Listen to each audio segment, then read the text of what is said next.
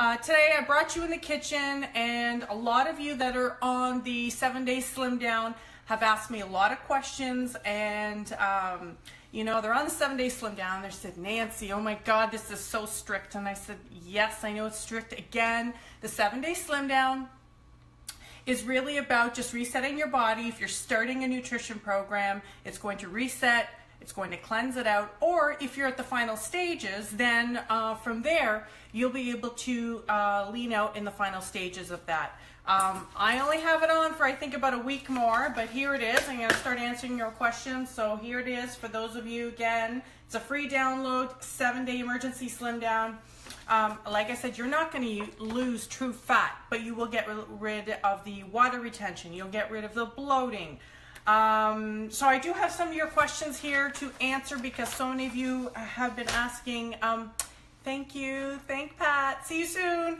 Um, so um, I had Sarah ask me, I'm going to read the question here because I had to put all the questions together. Uh, I've been trying to juice, but I never feel like I'm doing it right. I know, we never feel like we're doing it right. What type of machine do you use, a blender or a juicer, and how do you filter all the excess foam and fiber and skin from the veggies?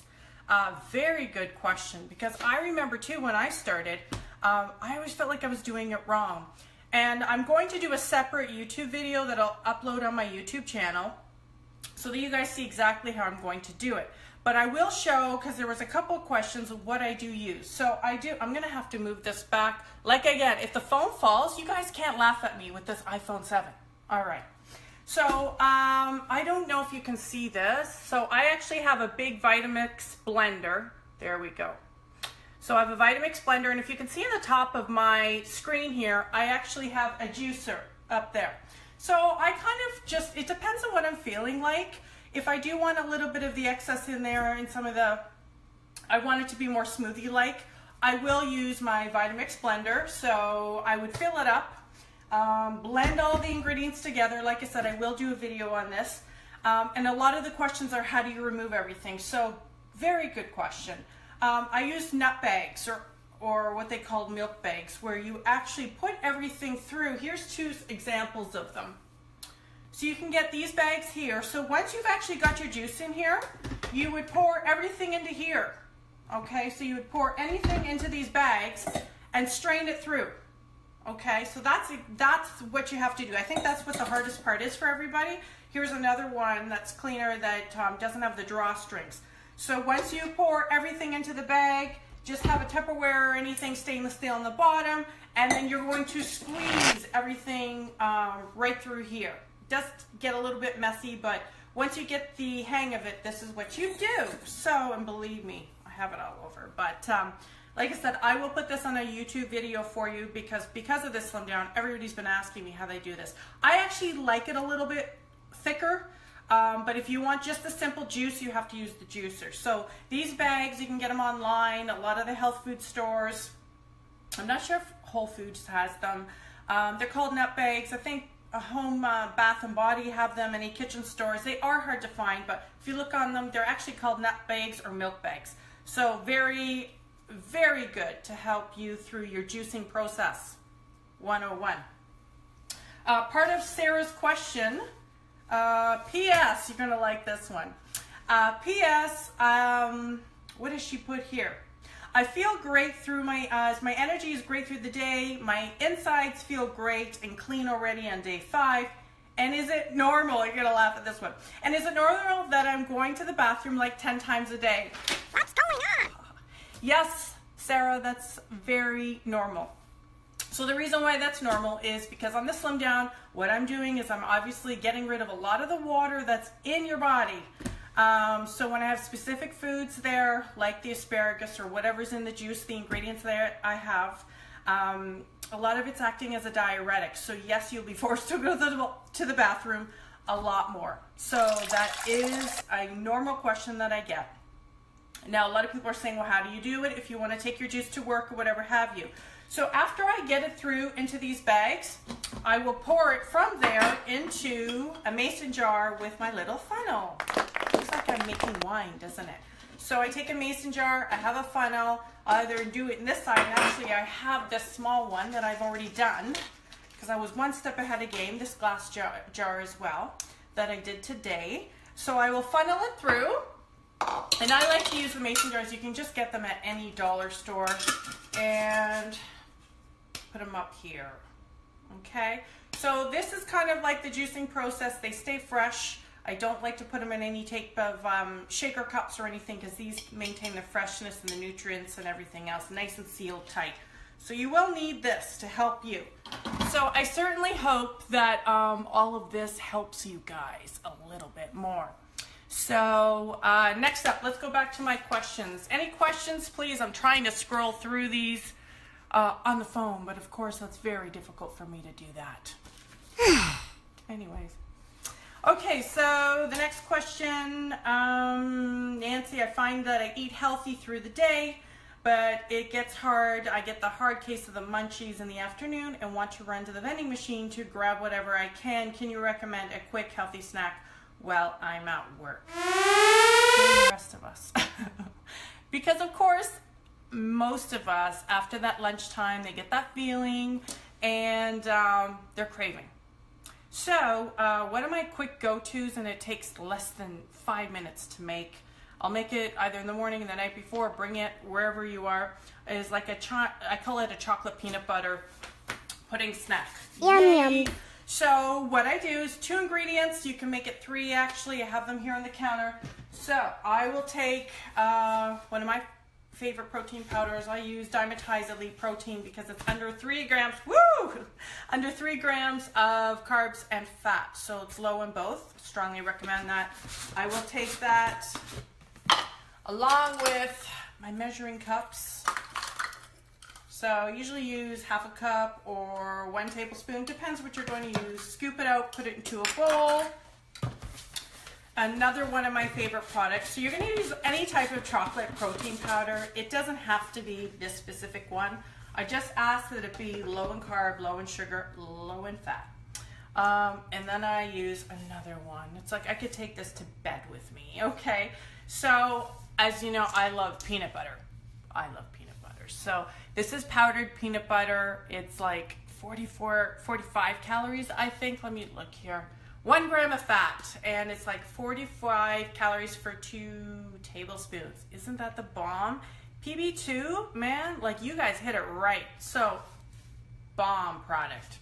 Hi, Jeff. I see you there. Okay, so you would take uh, two teaspoons of this as well, or tablespoons, or whatever have it you. And then you're gonna add some water, and if you would like, you can add some almond milk and some stevia. And voila, let me tell you what that shows up to be. This ends up being this beautiful mix of chocolate pudding.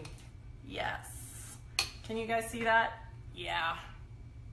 So this is probably one of the healthiest snacks that you can eat.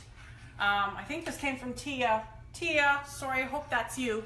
So um, here we go, protein powder, okay? So quarter scoop, I mean, measure according to what you think you're gonna eat for the day. I don't know all your diets, but regardless, it's a healthy snack, better than any type of vending machine, chips, or anything else. Pure protein, uh, you've got a little bit of uh, your fix of chocolate, you got your uh, fix of peanut butter, as I'm about to do that now because I just can't resist. Mmm. Orgasmic. Yeah, so that's going to curb my cravings, definitely. So um, I hope that helps. And um, I'm going to do another quick question. Holler, what do we got here? Let's see. Oh, I hope I don't turn this off. I'm trying to go through all the comments. Such a loser sometimes, aren't I?